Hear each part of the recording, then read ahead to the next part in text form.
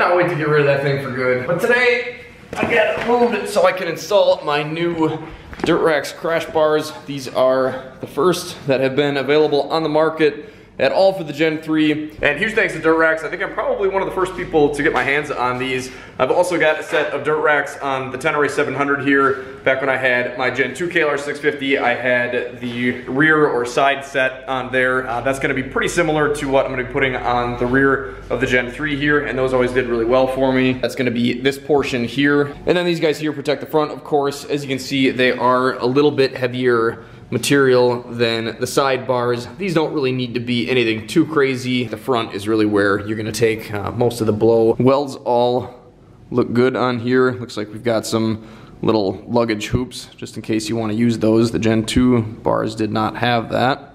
Finish on these I believe is a powder coat and it's kind of a hammer finish. Uh, we've got mounting brackets here all welded on. This piece is gonna go kind of up underneath that plastic black cap on the top side of the fairing. That'll of course go on the motor plate. And this bracket right here will connect the two. Only two pieces of hardware for the front, you reuse everything else. We've got hardware for the rear, which is a little bit more extensive. So with the skid plate removed, the next thing that I've got to do here is remove the front two motor mount bolts here that go through the frame. And we do have two other motor mounts, one in the back here and then one up top. So this shouldn't shift around too much.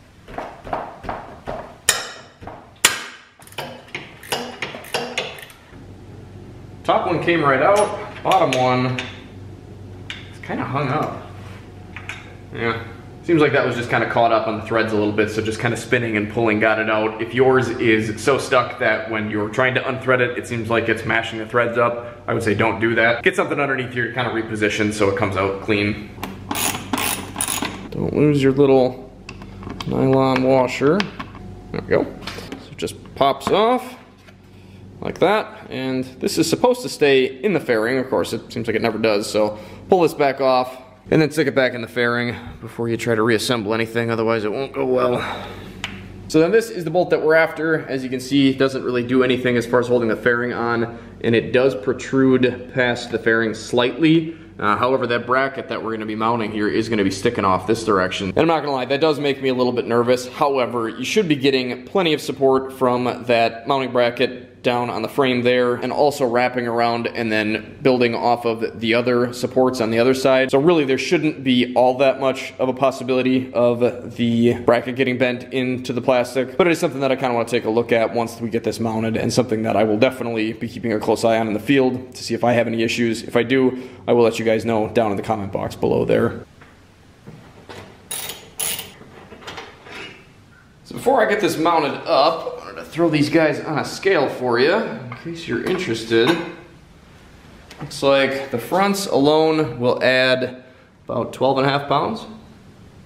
So of course everyone's entitled to their own opinion and I would love to hear yours down below, but I think crash protection is something that is 100% necessary on a bike that I'm gonna take through pretty crazy trails. I guess if you are only planning on staying on the road, or you just really don't think you're ever gonna drop your KLR, and that 12 pounds is weight that you really wanna keep off the bike, then I mean, I, I guess that's up to you. But for me, personally, the added weight of crash protection is well worth it. So to get this installed, I'm gonna grab the bolt and washer that came with the front bars here. Uh, if you're interested, apparently my camera's not gonna focus on it. They are 8.8 I do have a little bit of blue Loctite on it. Uh, if you get confused, these are just a hair longer than the stock bolts that came out of here.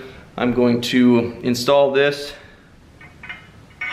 in the bracket and I'm gonna guide the bottom portion that's gonna line up with the holes in the frame and the motor mount up from the bottom like so. And I'm just gonna line the top bolt up here and thread it in At this point, that should be well balanced enough, and I can just let it go. Grab my other crash bar and my other fastener mount this the same way on the other side here. So now I've just got to line up all my holes down here and throw the factory bolts through from the opposite side. Kind of feel like I'm having a little bit of hard time seeing daylight from the other side, so I might have to loosen that bolt up and maybe lift up on that crash bar a bit.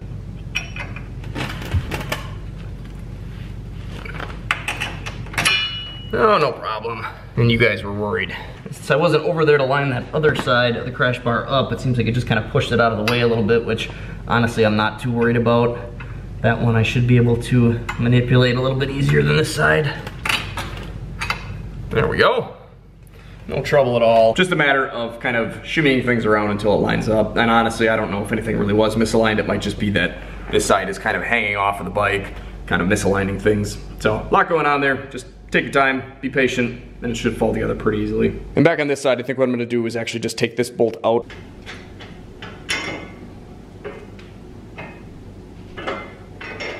Hmm, yeah, much easier. I wonder if maybe you wanna start with the bottom ones? I don't know. Seems like this worked okay too. So here we've got the boomerang bracket. This is gonna be directional because you've got the countersunk holes here for the matching conical fasteners. So those get installed this direction, and this is actually gonna be installed upside down with the point pointed forward. Get my black nylock nut and washer ready to go. Put this through the hole. Put a washer on. And a nylock nut. Do the same over here. As long as everything is left loose, this lines up absolutely no problem at all. So I'm just gonna hit each one of those bolts a little bit at a time until everything kind of falls into place. And since I would much rather have to come back and tighten some of this stuff up, even though I don't think that'll be a problem, I'm gonna take it easy on these bolts. No sense in snapping anything off or stripping anything out. So it's probably gonna be a little bit hard to see here. Uh, I pulled off the bottom nut because I'm gonna throw some blue Loctite on these. Oh, this camera. I guess that's about as clear as we're gonna get. So there's plenty of bolt there. However, these nuts are a locking nut. They're not a nylock nut. They've got little teeth. There we go. Thank you, camera. They've got little teeth that are supposed to grab the threads. And I have more than enough confidence that there is plenty of holding power there as far as holding everything together. Uh, but it seems like maybe those teeth are kind of to the point where the bolt starts to taper down a little bit. And this may be overkill, but it's also super easy to do. So I'm just gonna throw some blue Loctite on the threads.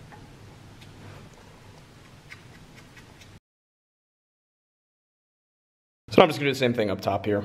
So with everything else snugged up, we're back to the boomerang bracket up here. I'm just gonna start to snug these up. There is quite a bit of play up here. Just gonna kind of do a little bit at a time and then center this so it looks good. Ah, who am I kidding? I'm putting Loctite on these two. well,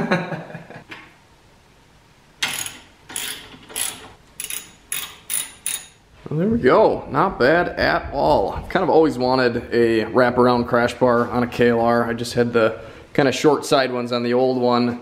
And I don't know, there's just kind of something about it. It makes it look a little bit more like a tank. I did mention earlier that I was going to kind of take a look at this bracket here to see how close it got to the plastic. And I mean, it's it's close. Uh, I don't really think it's gonna be an issue unless you get in one heck of an accident. I think just dropping this on the ground probably isn't gonna be a big deal. That would take one heck of a wallop to get that pressed into the side of the bike. I mean, these things feel more than solid and I don't see any flex going on there at all.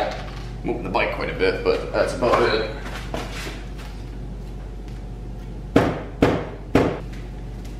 I'm not a huge fan of how this covers up the KLR logo, but it is just a KLR, definitely a, a, pretty cool looking KLR. I really, really, really like these Gen 3s. That's such a good looking motorcycle, but not really a big deal. Obviously, like I said earlier, crash protection is A1 priority, looks come second. Uh, I think the crash bars do look cool on the bike. I guess let me know what you guys think down in the comment box below and let me know what you think of this and if this is gonna be an issue. So all there is left to do up here is put this thing back in place.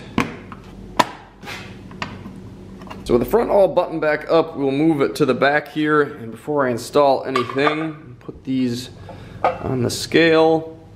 Looks like we're at about four pounds. So we hold this up, looks like we're gonna have to remove that back fastener on the rack and the front one on the passenger foot pegs.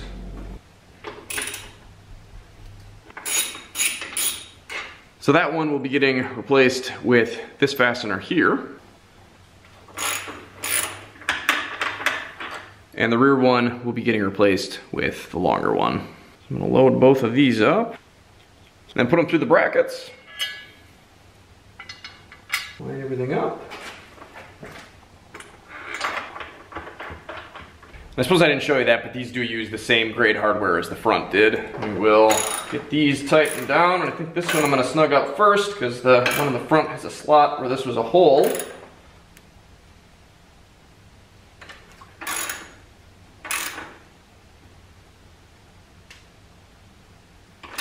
There we are. Well, she is ready to ride, and uh, I guess ready to crash now. Gotta say, I'm pretty happy with how everything went together. Uh, front really didn't take too long and wasn't too involved, obviously. You do have to remove some motor mount bolts, but I promise it's not nearly as scary as it sounds. Really all goes together pretty smooth.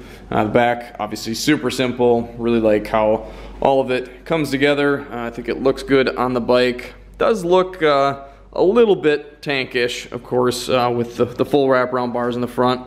Maybe that's what some people like, and other people probably aren't such a fan of that. I'm kind of somewhere in the middle. I think it looks good. Uh, I don't necessarily mind having slightly smaller bars like I've got on the Tenere. Uh, I do kind of like that, and obviously if you're looking to get some weight savings, that's definitely uh, an option that you might want to look at. However, I don't know that there's going to be an option like that for the KLR. Pretty much stuck with either this or just the goofy little loop bars down here and the in my opinion anyway, useless light bar bracket. I, I guess that's up to you and the type of riding that you're gonna do. Me personally, I'm gonna feel one heck of a lot better about having these on here. I do plan on probably doing some single track with this next year. And now I think I'm definitely ready to do that and feel pretty good about these bars. If I have any major issues or there is any destruction after a crash, then I will make sure to make a video on this updating you guys. But like I said, I, have used the Dirt bars on the Tenere, crashed that a couple times already. Uh, never had a problem with the ones on the Gen 2 KLR. So I have a lot of confidence in these. If you guys want to pick a set of these up, take a look down in the description. There will be a link for them. So thanks for watching, guys. If you have any comments or questions, leave them down in the comment box below. If this video was helpful to you, make sure and let me know. Hit that like button. If you want to see more videos like this, or if you want to see any one of these three or all three of these bikes out on the trail in the beautiful Wisconsin woods. I put out a video at least once a week, so hit that subscribe button down at the bottom. Click the bell after you're subscribed, and it will let you know anytime I put a video out. Other than that, guys, take care, stay safe, stay swanky, get out, enjoy this beautiful world if you can. And hey, if you can't, check out some more of these videos now.